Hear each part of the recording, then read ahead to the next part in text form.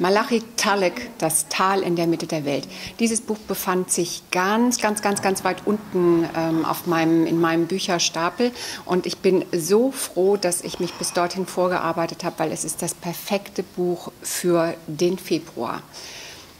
Es spielt auf den Shetlandinseln und stellen Sie sich vor, auf den Shetlandinseln ist das ganze Jahr über das Wetter wie so in Hamburg im Februar. Und wir befinden uns in einem klitzekleinen Weiler, wirklich in der Mitte von nichts ausgesetzt, dem, dem rauen Klima und den Unbilden der Natur.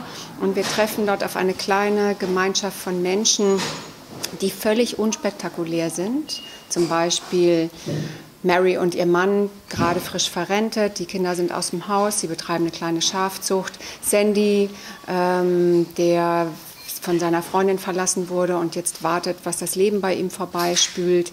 Oder Alice, die ein Buch schreibt über die Flora und Fauna der Shetlands. Und das berückend, bezaubernd Schöne an diesem Buch ist, dass wirklich gar nichts weiter passiert. Das ist ein Buch, was den Alltag und die Gegenwart huldigt, weil wir begleiten diese Menschen bei sehr normalen Verrichtungen und Lebensfragen und nichts ist wichtig außer dem, was heute ist.